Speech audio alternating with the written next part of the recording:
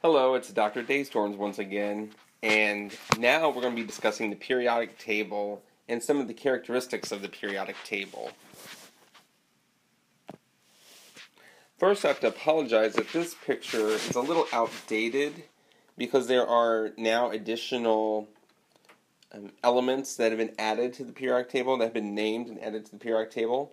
However, I like the simplicity of the color scheme that they use here. I will show you an updated version in a moment. I apologize as I open up my can of Diet Mountain Dew.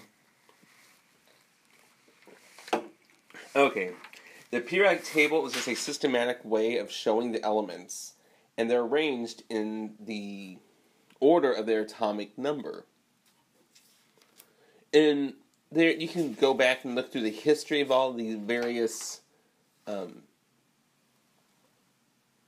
uh, various versions of the periodic table before they settled upon this one.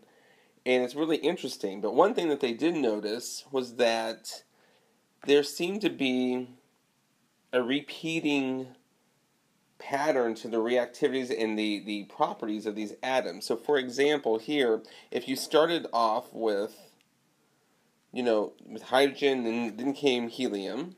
You had lithium.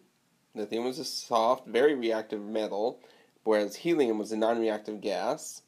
Then, eight later, they noticed that there was neon. It's a non reactive gas, but sodium was a soft, reactive metal. Then, later, there was argon was a non reactive gas, whereas potassium was a soft, reactive metal, so on and so forth. And so they started to line these up, and that's how they they found this periodicity and they called it the periodic table.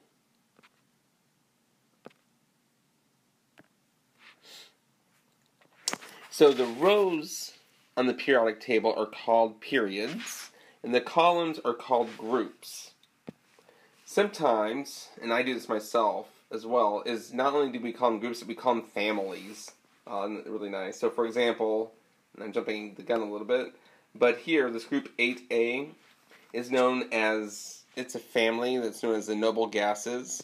It's also called by some people the inert gases because erroneously they thought that they had no chemical reactivity whatsoever, but you'll find out later on that some of them really do have uh, a, a, different type of reactivity. So they're often called the noble gases. Okay? But the the elements that are in the same family typically have very similar chemical properties. So, for example, everything in this family here, you'll find out has very specific properties. In fact, in or in organic chemistry next year, you're going to use the, the this family. So they're called the halogens a lot. Okay. This is the updated periodic table I just wanted to show you because, as I mentioned before, it does contain additional uh, elements, for example, that have been more recently discovered or named.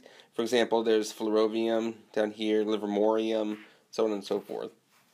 All periodic tables should give you a key or a legend. Well, this one shows you that it has its symbol, the name, the average atomic mass, and the atomic number. So, for example, from the last video that that you we, we went through, this is chlorine. Chlorine has the atomic number of 17, but the average atomic mass is 35.45. We're going to come back to this to this periodic table in a moment. Okay, as I mentioned, there were some groups that have special names, or some families have special names.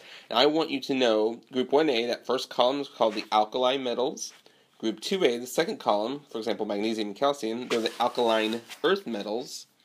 6A, which is oxygen, sulfur, selenium, and so on and so forth. There are the chalcogens, 7A, the halogens, and then the noble gases are in 8A. I'm reverting back to the simplistic periodic table because of the fact that I like the way that they have it structured. Uh, we have, for example, here with the exception of hydrogen, these elements, and they're always on the right hand side of the periodic table, are called the nonmetals. And we're going to find out that nonmetals have certain very specific types of characteristics. Like, for example, most nonmetals, in fact, especially the halogens and the chalcogens, they like to gain electrons. We'll talk about the reasons why later on. Then we have what's called the metalloids, which if you draw a little, whoops, if you draw a little stair step,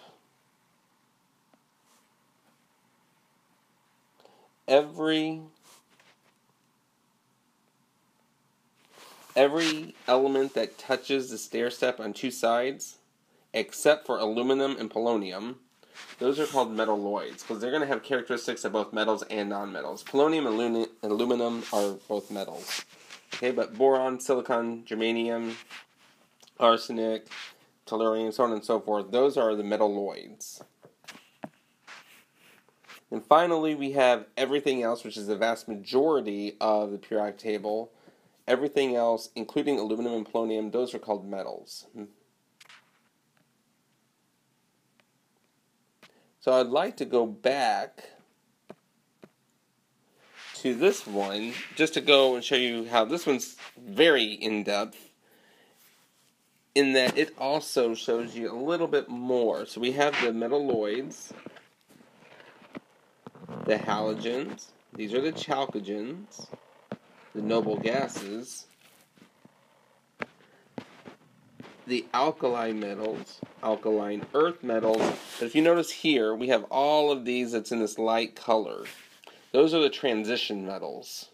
Okay, and we're going to find out that they have many different oxidation states, which at this point in time you probably don't know what that term means, but you will by the end of the semester.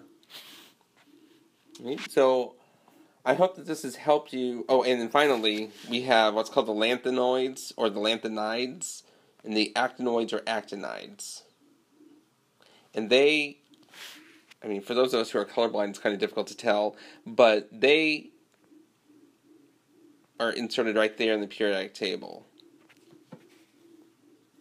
So I hope that this has helped you just learn a little bit about the periodic table, about the different families in the periodic table, and just how to read the differences of where the metals, metalloids, and nonmetals are located on the periodic table.